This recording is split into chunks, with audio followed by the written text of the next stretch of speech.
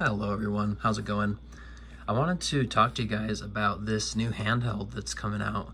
You guys may or may not have seen this, but it's from this company TJD, uh, and it's called the T10. And I think they just make like Windows or Android tablets or something. I'm not really familiar with them, but um, this is what it looks like. And it's, it's a very interesting concept. And I, I gotta say, my first impression was that it's it's kind of ugly, but the more I look at it, it's it's actually kind of a neat design. Um, these like accents here are, are very interesting, um, but it's it's a very interesting concept. Um, the biggest thing is that it has a 10.1 inch screen. And that's just, that's pretty big. Like the, when you compare it to the Steam Deck, this has a seven inch screen um, the uh, GPD, or excuse me, the um, ROG Ally has a 7 inch, screen. Inch screen. Uh, I think the biggest one we've seen is like the One X player. I think it's like 8.4 inches, and the Ayaneo Kun will have a similar size screen as well. Um, this is going to have two different SKUs. It has this the Ryzen 7 7840U, and then uh, there is a Ryzen 5 one as well, I believe. Uh, let's see if it mentions it here. Not sure if it will or not. But yeah, a bit, a bit lower end model.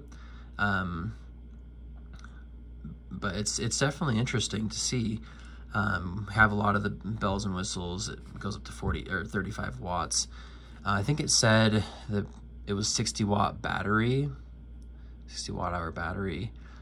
I don't really know. I mean, you guys tell me what you think about this. It, it, it kind of looks like a toy, like, like I don't know if if the Switch Pro was was real, I would yeah, I would expect it to look something like this. I mean, it's it just looks weird. It just looks like a toy. It's it's kind of weird to me, but apparently it has really good airflow, Hall triggers, Hall joysticks, um, gyroscope, and stuff like that. Um, it says eight hours standby, five hours independent gaming which is indie indie games, large scale games, two to three hours, which is pretty good for for a Windows handheld. Um, but the whole reason they can fit a giant battery in there is because this thing is pretty big. I mean, look at that screen. It's it, it's it's pretty ginormous overall. Um, they're sh they're showing a few different modes.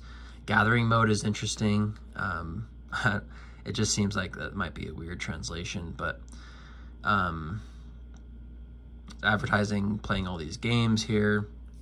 These are the, different models. So you have the 7640, I think that's the Ryzen 5. Uh, 16 gigs of RAM, one terabyte. That might actually be a pretty good option depending on the price here. If they can get this um, like pretty far down, like starting at 700 bucks would be cool, or five 599. I don't I don't think that's gonna happen, but just a low price under a thousand dollars would be good for this if they can manage to get that. Um, so these are the different specs here. Yeah, 60 watt hour battery, Wi-Fi 6E. Um, I believe it said it had a 1200p display. If we go up, um, let's see, yeah, 1200p. Um, so pretty good overall. Um, but yeah, let me know what you guys think of this uh, I, am I'm, I'm really liking the the influx of um, handheld PCs that that are showing up here. Even though a lot of these are like from China and whatnot, which I, you know, I'm not really a big fan of those. It's, it's still cool to see the industry moving along and it's going to push other companies to, to start doing this. We've already seen Asus jump in after Valve threw their hat in the ring with this. Um, this is a, a comparison between the two. The TJD-T10 and the Asus Ally, the ROG Ally. Um, not really sure what they're saying here because they say that the Ally has a 10.1 inch screen as well. I,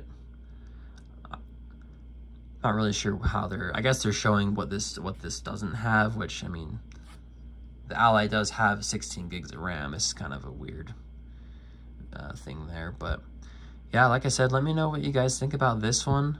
The T10 by J, or by TJD. It's kind of a weird name. Um, it's it's very interesting to say the least. I still think it kind of looks like a toy, but I'm curious to see your guys' opinion on that. I wonder how that D-pad's going to be. You know, the circle D-pads are not always that good. They can either be really good or really, really bad, so we'll see. But I'm going to wrap it up here, guys. Thanks for watching. Let me know. Leave any comments of uh, opinions you might have on this here, and we will see you in the next one. Thanks.